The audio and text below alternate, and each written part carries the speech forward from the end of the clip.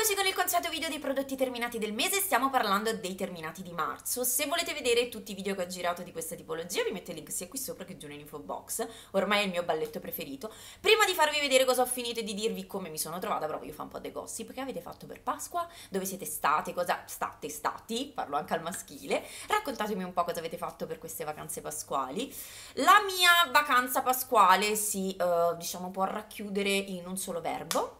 voi lo sapete, mangiare.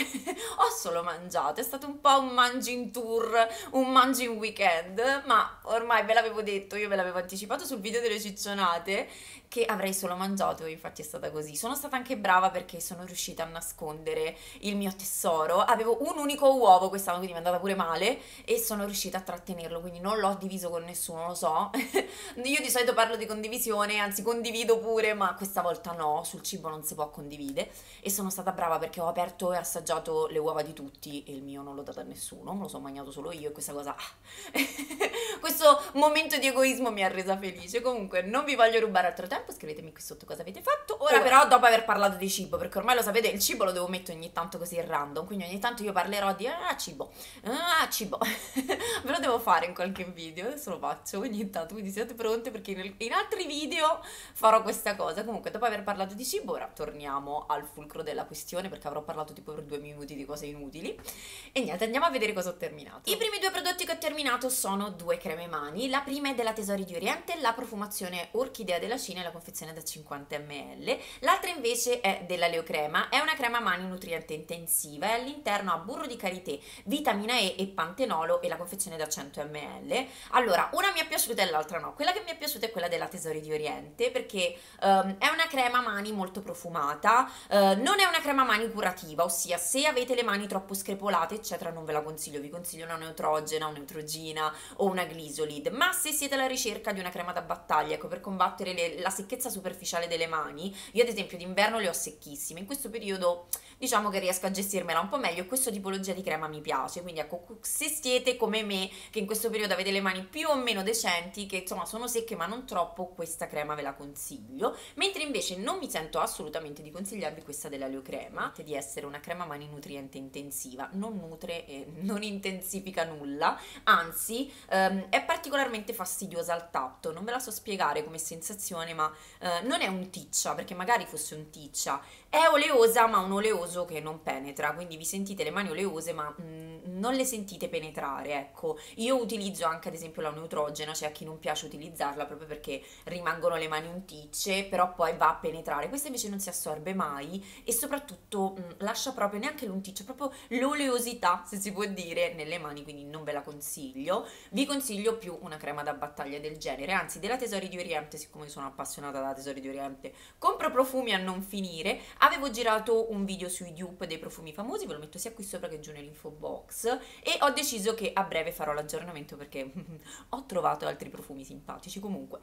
Torniamo a noi, questa io ve la consiglio, quest'altra invece proprio. Un altro prodotto è questo latte detergente della Mil Mil, è Altiglio e Malve, la confezione gigante perché è da 500 ml, infatti ci ho messo una vita per finirlo, è di quelli nutrienti, c'è scritto, ed è purificante e idratante. Allora, su questo latte detergente ho avuto opinioni discordanti, ossia nel primo periodo di utilizzo mi è arrivata tipo a metà, mi piaceva tantissimo e quindi se me l'aveste chiesto a metà vi avrei detto wow, è il latte detergente della vita, non solo economico, è buonissimo perché l'avevo trovato in offerta, mi sembra d'acqua e sapone. Eh, avevo preso anche il tonico, il tonico non era malaccio, ma mh, mm, adesso è arrivata da qui in giù, quindi la parte finale devo dire che non mi è piaciuto affatto. Sarà sicuramente un problema della mia pelle, ma nell'ultimo periodo ogni volta che lo utilizzavo mi venivano delle bollicine sotto pelle, poi lo smettevo, se ne andavano, lo riniziavo e mi tornavano, quindi ho capito che era lui, perché ho fatto, diciamo, le selezioni, ho detto devo capire che cos'è e ho capito che era lui. Dire che non, non mi sono trovata bene con questo prodotto, forse è possibile anche perché mi sono data anche una specifica, è possibile che mh, sia troppo grande la confezione quindi sia eh, passato troppo tempo per l'utilizzo, cioè mi spiego meglio, io abbia impiegato troppo tempo a finirlo, quindi magari fino a che ero qui mh, il prodotto all'interno era ancora buono, poi è passato troppo tempo e per finirlo ecco non era più buono, quindi è possibile che sia anche quello. Devo dire che ho provato altri prodotti di questo marchio e non sono male, quindi insomma non mi sento di bocciare il marchio, ma mi sento di bocciare proprio questo latte detergente. Uh, fatemi sapere se voi l'avete utilizzato, come vi siete trovati, perché è possibile, vi ripeto, che sia una mia impressione proprio perché ci ho messo troppo tempo tempo a finirlo. Il quarto prodotto terminato è questa base per unghie della Essence, si chiama Studio Nice Base Fissante, base fissante. La confezione è da 10 ml, non stiamo parlando di gel, non stiamo parlando di semipermanente, quindi questa asciuga all'aria, ecco, quindi è un altro discorso. Sono sempre patita per il semipermanente, ecco, questa fissa penso non mi si toglierà mai, ma spesso e volentieri, come vi consiglio sempre in tutti i video che faccio, eccetera, dove parlo di unghie, dove parlo di semipermanente, faccio riposare le mie unghie e quindi cosa faccio? Applico magari delle basi rinforzanti che vadano proprio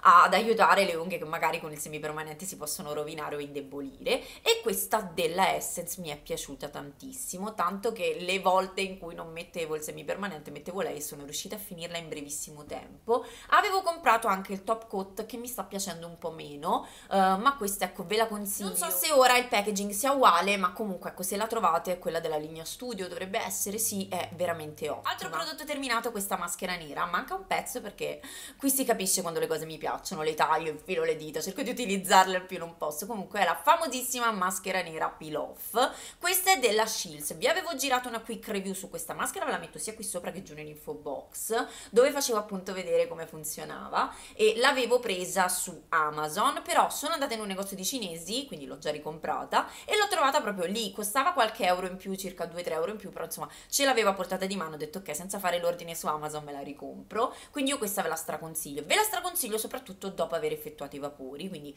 anzi se volete il video sulla pulizia del viso lo facciamo insieme, fa un po' schifo però la facciamo insieme, che ci prego, ormai tanto siamo amiche e amici, fatemelo sapere, scrivetemelo qui sotto, comunque dopo aver effettuato i vapori eh, vado proprio ad applicarla, ci mette un quei 30 minuti, qui diceva quindi, eh, 20-30 minuti, a volte anche 40, perché più ne mettete più faticate poi per farla asciugare, quindi più ne mettete più quando andate a tirare togliete tutto il toglibile, quindi dopo aver effettuato il, i vapori è diciamo il momento migliore. La cosa che vi consiglio però, perché ho visto tanti video dove tante ragazze se la mettevano su tutta la faccia, no, io questo non ve lo consiglio, andatela a mettere solo nei punti dove avete reali problematiche, quindi dove realmente avete punti neri, perché in alcuni casi dove non ce li avete se andate a tirare andate a fare i danni voi, quindi a questo non ve lo consiglio assolutamente. Io di solito lo metto nella zona T, soprattutto qui e sul naso, che sono i punti dove ho più punti neri e mi ci trovo benissimo, quindi fatemi sapere, ecco, se volete facciamo la pulizia del viso insieme e se vi dovesse capitare prendetela perché è veramente top, anzi vi metto anche il link del venditore dove l'avevo acquistata giù nell'info box. Momento denti, che mi urlo, momento denti, scusate, non so perché urlo quando faccio momento denti, comunque abbiamo terminato questi due dentifrici, il primo è l'acqua fresh ormai, la nostra Franci ci ha attaccato questa fissa per l'acqua fresh, noi ne usciamo più, Franci è colpa tua, sappilo, tu lo devi sapere, e poi abbiamo terminato il nostro amatissimo Colgate Whitening. Siamo al momento deodorante, abbiamo terminato il Nivea Invisible for Black and White, questo è il fresh,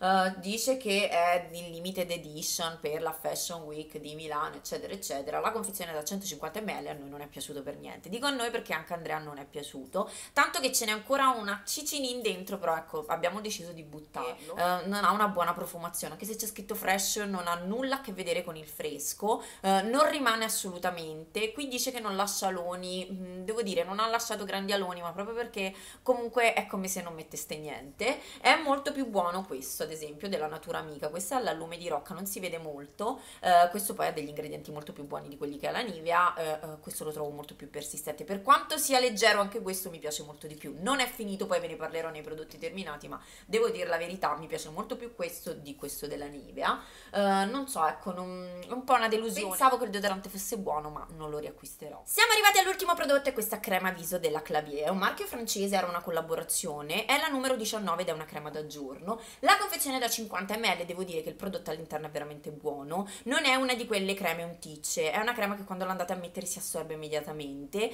però la sentite, ecco, vi lascia la pelle morbida, è un buon prodotto, devo dire. Quindi mi sento di promuoverla per questo, ma mi sento di bocciarla per la confezione, perché io volevo andare a prendere tutto questo po' di roba, ma qui è tutta implastificata. Pensavo che il prodotto fosse direttamente all'interno del vetro, invece no, c'è tutta questa plastica, non so. Mm, la confezione è da 50 ml, io non so se questa plastica contenga 50 ml di prodotto, non lo voglio neanche sapere, però ecco è una cosa che non mi è piaciuta. Voi direte, ma che c'entra? Non lo so, però ecco ve lo volevo dire. Però il prodotto all'interno in sé per sé è davvero buono e se non ricordo male, sì, è anche certificata bio, quindi se cercate una crema buona con ottimi ingredienti, questa ve la consiglio. Ok, video terminato, io come al solito spero che questa tipologia di video vi piaccia e soprattutto vi sia utile. Fatemi sapere se avete provato alcuni di questi prodotti di di cui vi ho parlato e come vi siete trovate, soprattutto voglio sapere se avete provato questo e se come me all'inizio lo amavate e poi lo avete odiato. Fatemi sapere, insomma, se avete anche dei consigli voi da dare a me su alcuni prodotti, ecco, interagiamo perché ve lo dico sempre, ma perché la verità io adoro interagire con voi. Raccontatemi anche la vostra Pasqua.